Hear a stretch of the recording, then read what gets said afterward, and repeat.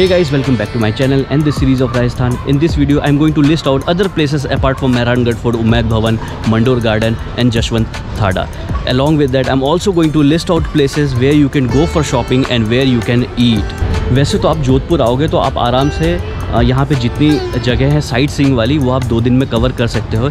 लेकिन अगर आप चाहते हो अच्छी तरीके से यहाँ का कल्चर एक्सप्लोर करना, यहाँ की गलियाँ एक्सप्लोर करना तो आपको पाँच दिन भी कम पड़ जाएँगे। Honestly this place has a different vibe मैं यहाँ पे एक सदर हवेली हेरिटेज नाम की जगह पे रुका हूँ। बेसिकली बहुत पुरानी हवेली है। This haveli is at least like 100 150 years old तो इस हवेली से आपको एक मेहरानगढ़ फोर्ट का बहुत एक क्लियर व्यू मिल जाता है।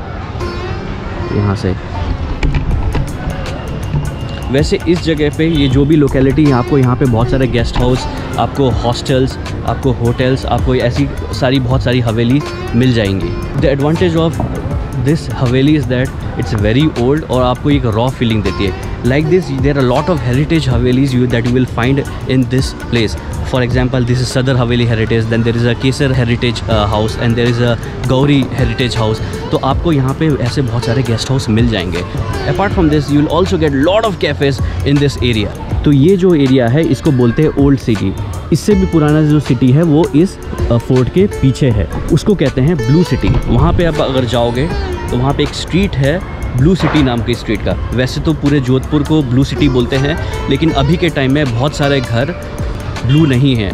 But behind this fort there is a place way you find all houses coloured in blue आपको एक और बात बता दूँ, जोधपुर में जो स्टे है, वो चीप है। बाकी हिल स्टेशन जैसे यहाँ पे आपको कोई कॉस्टली नहीं पड़ने वाला है तो आप आराम से किसी भी गेस्ट हाउस में यहाँ पे रुक सकते हो। Also whenever you coming to Jodhpur do not look for a stay in the new city try to come to the old city because this is the only place which will give you a different vibe आप city में जाके रह सकते हो लेकिन आपको बार बार यहीं पे आना पड़ेगा आप बहुत कुछ मिस कर जाओगे तो मेरा सजेशन ये है कि आप ओल्ड सिटी आइए यहाँ की गलियाँ घूमिए उन गलियों में रहिए तब आपको पता चलेगा कि यहाँ का इन्वायरमेंट कैसा है This is Kailana Lake and it is located 10 kilometers away from the old city. It is an artificial lake which was constructed in 1872. It is said that this lake was created after destroying the palace and gardens of Jodhpur rulers Bhim Singh and Takhat Singh.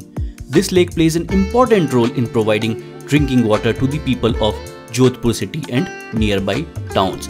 It is an ideal place for picnic and relaxation. You can also participate in activities like speedboats, motorboats and ziplining. This is the best place in the city to watch the beautiful sunset. This place is situated right in the middle of the old city of Jodhpur, which is known as Toorji ka Jhalra. It is a step well and was built in 1740 by a queen named Maharani Tanwar, who was commonly known as Toorji. This stepwell was used by the women of the kingdom. The stepwell was used to fetch water for the activities of their daily life. The structure is built in such a way that the source of water is groundwater, which is available throughout the year the stepwell was usually a part of the water harvesting system. The entire stepwell is made of red sandstone and is said to have a depth of about 200 feet. Just 5 minutes away from this stepwell, there's another stepwell which is known as Mahila Bagh Jhalra. This stepwell is also of medieval period. Unfortunately, seeing this stepwell, it did not seem that it was looked after by any authority as it looked polluted and grimy. In front of Mahila Bagh Jhalra, there's a reservoir named Gulab Sagar.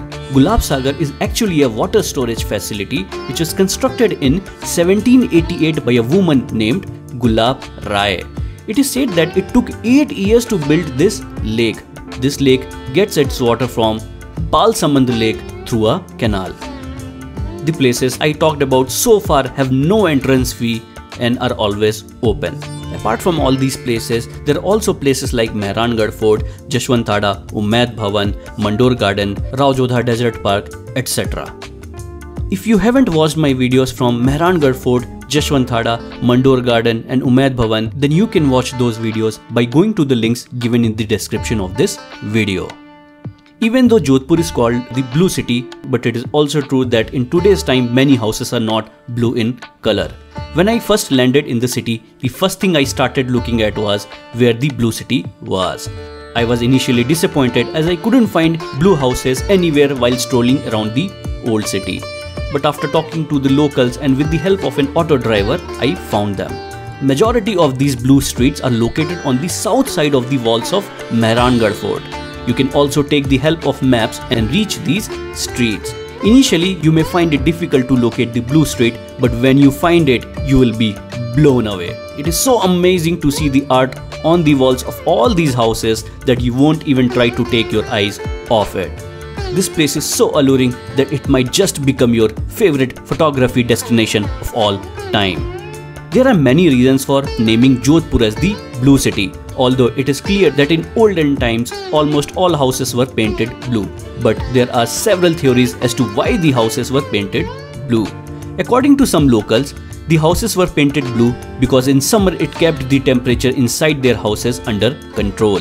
Some theories suggest that only the houses of the Brahmin community were painted blue to distinguish them from those of other castes. While others believe that blue color was used to protect their homes from termites, which was a major problem at the time. The blue color used for painting is actually called indigo. This is Ghantaghar, which is also known as the clock Tower. This is the prime spot in Jodhpur Old City. From street shopping to eateries, you can find everything here. All the tourist places that I have mentioned earlier are very close to this place.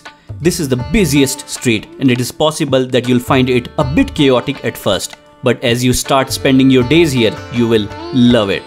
There are many lanes near Ghantaghar which will give you a great shopping experience. It is also the best place to buy Rajasthani dresses, souvenirs, leather products, etc. Near Ghantaghar, there is a renowned eatery known as Shahi Samosa, which is famous for its pyaj kachori and mirchi vada.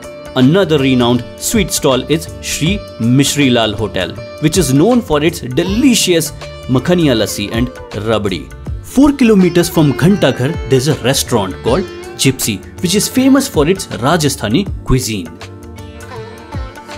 And if you visit Mandor, there you'll find a very famous sweet shop named Swadeshi Sweet Home, which is 80 years old and known for its famous sweet called Churma Chakki. दूध बेसन घी शक्कर से बनता है चूरमा चक्की तो ये आपका फ़ेमस है यहाँ का हाँ अस्सी अस्सी साल से दुकान अपनी अस्सी साल से हम्म। तो ये सारी इन्फॉर्मेशन थी जोधपुर के बारे में। अब मेरी नेक्स्ट वीडियो होगी उदयपुर से। If you like this video then do subscribe to my channel stay safe stay healthy see you in my next video make sure when you come here you do not litter the place bye bye